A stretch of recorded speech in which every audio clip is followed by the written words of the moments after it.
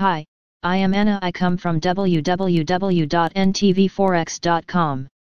Asian stock market bulls track Wall Street gains amid cautious optimism. http ntvforex.com News ID 325026 3 minutes ago by Anil Panchal Asian shares rise for the day but snap 4-week winning streak with mild losses.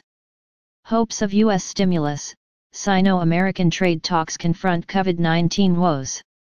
Data from Aussie, Japan, and New Zealand have been mostly upbeat. Preliminary readings of the monthly PMIS will be the key to watch.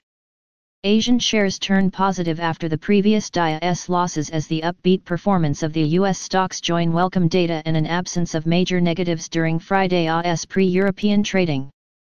While portraying the mood, S index of Asia-Pacific shares outside Japan gains 1.23% whereas S Nikkei 225 rises 0.35% to 22,964 as we write. Wall Street cheered hopes that the US and China are still not defying the Phase 1 deal the previous day. Also pleasing the bulls were gains by technology shares that helped Nasdaq to surge over 1.0%. Earlier in Asia, Japanese Consumer Price Index for July flashed welcome prints of 0.3% versus 0.1% YoY. The data preceded August month's upbeat figures of Jibun Bank Manufacturing PMI, 46.6 versus 45.2.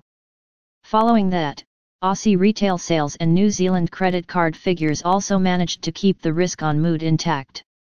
Talking about the virus, Australia's Victoria marked weakness in new cases with 179 level for Thursday, the lowest five weeks, while figures from Tokyo surged past 300 to 339 for the first time since Saturday in Tokyo.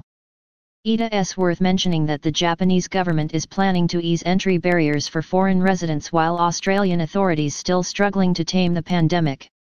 Elsewhere, U.S. House Speaker Nancy Pelosi reversed the optimism surrounding the U.S. stimulus talks while recently saying, a timing is not right for a smaller coronavirus relief bill A against this backdrop.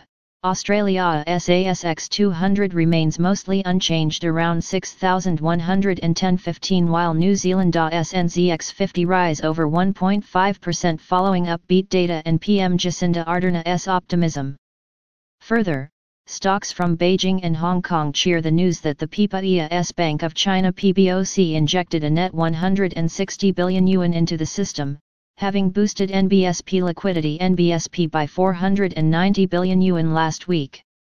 NBSP ETA S worth mentioning that India SBSE Sensex joins the League of Profit Makers amid recently receding virus numbers. Additionally, the U.S. 10-year Treasury yields and S&P 500 futures also portray the mild optimism. While macros seem dead, traders will keep eyes on the early month activity data to extend the latest optimism. Subscribe our channel to receive the news as soon as possible. Thank you for watching. If you want to read real-time news, text messages to MT5 Expert Advisors page at https m.me mt5.expert.advisors.